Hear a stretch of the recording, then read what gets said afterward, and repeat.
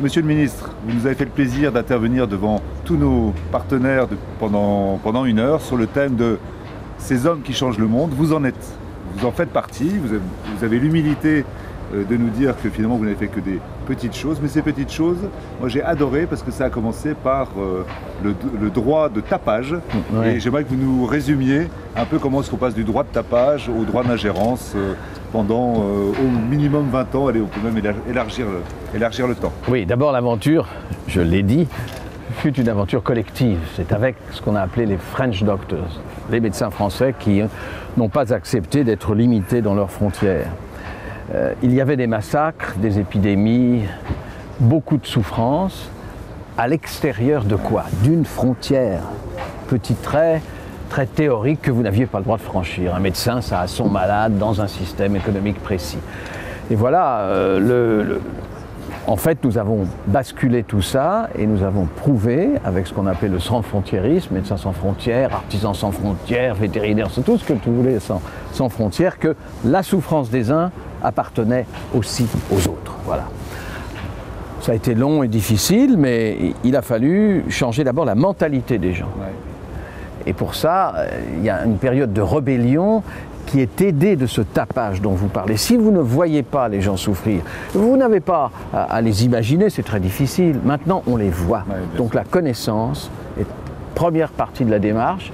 Et puis, il y a une petite partie d'illégalité en effet, parce qu'il faut changer le droit. Il faut changer le droit, voilà, c'est comme ça. Vous. Maintenant, on s'interroge sur les populations civiles, quelle est l'opinion, est-ce qu'on peut les aider, il y a une conscience internationale, les, Nations Unies interviennent, etc.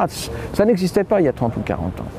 Donc, euh, euh, c'était une démarche médicale, c'était tenter d'apaiser les souffrances et peut-être même parfois de soulager, de sauver.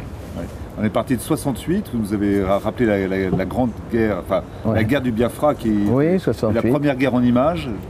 Oui, je crois, le premier tapage, en effet, le premier moment où à la télévision on a dit regardez, c'est insoutenable, mais il faut que vous regardiez. Je me souviens très bien de cette image. Jusqu'en 88, à l'ONU, donc la, alors vous nous avez cité, j'ai oublié ce, le chiffre exact.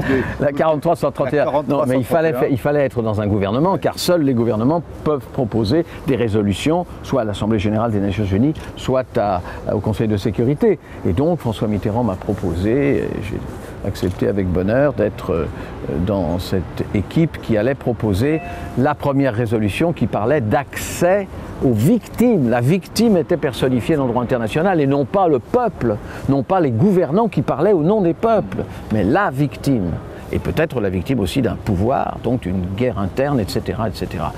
Et voilà, à partir de là est née la responsabilité de protéger. Euh, c'est-à-dire que maintenant, on peut intervenir pour protéger les gens. Vous avez élargi. Alors, moi, ce, qui ce que j'ai adoré et ce que nos auditeurs ont sûrement, sûrement beaucoup aimé, c'est que vous avez élargi euh, ce, droit des victimes, en fait, en nous rappelant qu'il y a eu beaucoup de mesures, entre autres en France, sur euh, le, respect de la souffrance et le droit des malades. Et ça, c'est sûrement un point dans lequel vous êtes moins, moins reconnu, puisque vous avez fait un travail de ministre de la Santé. Oui, mais enfin, ça a été la loi droit des malades. Et, donc, bah, bah, vraiment, ça me touche particulièrement. Et euh, rappelez-nous tout ce qui a été fait. Et puis, tout ce qui a été fait, je ne peux pas vous le rappeler, mais moi, je, comprends très bien que. Enfin, moi, ça a été décisif pour moi en fait, on ne, traitait pas la douleur en France.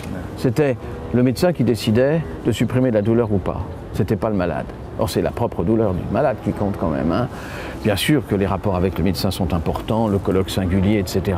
Mais il fallait que, comme une personne adulte ou même un enfant, quelqu'un exprime le personnage intéressé, c'est-à-dire le malade. Ça ne veut pas dire que le médecin n'existe pas. Et donc il y a eu une, loi euh, sur la douleur et puis une loi sur euh, toxicomanie, ça a été difficile, et puis une loi sur l'acharnement thérapeutique, et tout ça a constitué la loi droit des malades. Les malades ont le droit de citer, et puis un jour il y aura aussi peut-être le droit de choisir sa mort, pas selon les termes un peu brutaux qu'on emploie maintenant. Ça, je crois que ça a été formidable. Maintenant, vous avez le droit à l'hôpital et même le devoir, si vous voulez, euh, de dire au médecin je souffre trop. Et le médecin doit en tenir compte. Alors, il n'y avait que des théories françaises à, la gomme euh, qui, pensaient qu'on allait, quand on prononçait le, mot morphine, on était déjà un toxicomane. Ça a été un long combat, mais ce combat est, pas loin du droit d'ingérence. C'est la même chose, c'est de concerner les gens à leur propre histoire d'en faire les, tenants, et puis de, ne pas hésiter à affronter le risque. Alors voilà. Je, vous laisse le mot de la fin sur ce thème qui, sur lequel vous nous avez tous réunis vous nous avez engagé, engagé ou invité à faire face au risque et à le, souvent le combattre. Oui, le, être rebelle, être rebelle, ne pas accepter les, les, situations de conformisme. Il y a trop de conformisme dans notre pays, n'est-ce pas? Nous avons affaire à un monde extraordinairement concurrentiel. L'Europe s'endort, elle s'effondre. Il faut plus de vivacité européenne. Nous sommes 500 millions, les plus riches du monde. Nous pourrions parler mieux. Nous pourrions participer au changement du monde. Nous le craignons, sans y participer assez. Et donc il faut une période anticonformiste et surtout, vous êtes des investisseurs, chaque industriel, chaque homme qui, qui, essaie de faire une petite entreprise affronte le risque. Et bien moi j'admire ça. Merci monsieur le ministre. Merci beaucoup.